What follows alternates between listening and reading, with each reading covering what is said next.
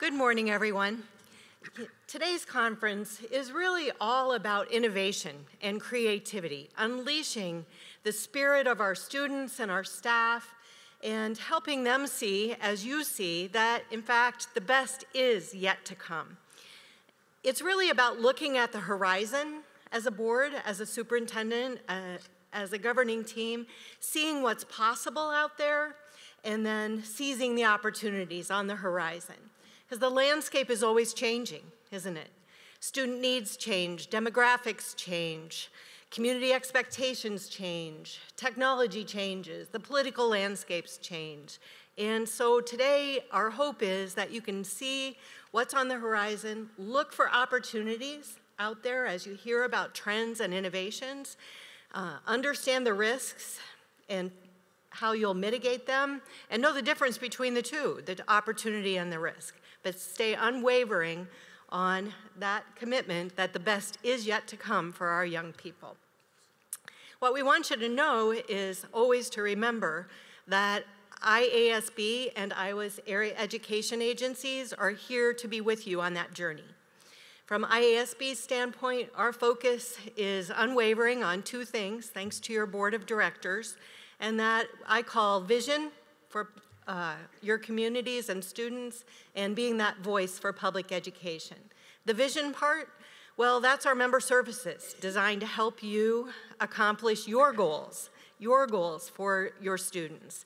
So from board development to policy and legal services, um, HR services to help support you with your staff, and school finance services to help you be good stewards of public taxpayer dollars.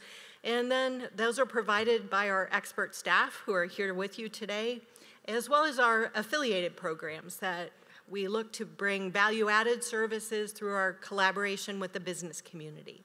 That voice for public education, well, that's so important now, the advocacy. And what I see today is the value of that voice is strength in numbers the strength in numbers of being able to speak on behalf of locally elected school boards, the citizens who govern your public schools, um, to the state legislature. A united voice on behalf of every kind of school district at the state legislature. And then through the National School Boards Association, we seek to um, speak to the Congress um, in our federal advocacy work and then public advocacy with the media and social media, trying to tell your amazing story. David?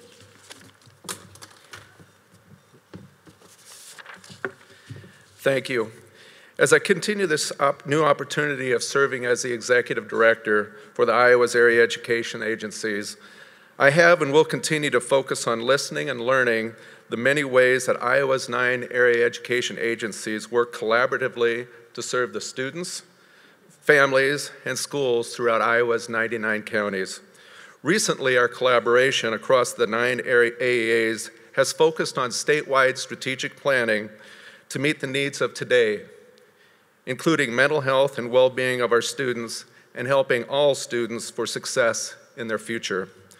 We remain committed to our mission established 45 years ago, which ensures efficiency, effectiveness, and equitable educational services that prepare all children for a life well lived, rural, urban, suburban.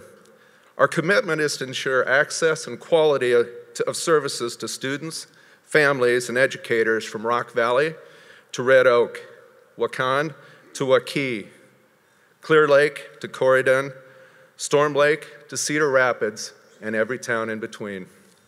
We will continue to listen, hear, and lead, remaining united in our focus to collectively meet the needs of your school district. We will continue to provide a system of professional learning supports, enriched instructional resources, and work in partnership with our Iowa schools to implement authentic learning environments that support every child every day. I appreciate the opportunity of working collaboratively with each of you. Thank you for everything you do have a great conference, and I look forward to the many successes in the future within our great state of Iowa. Thank you.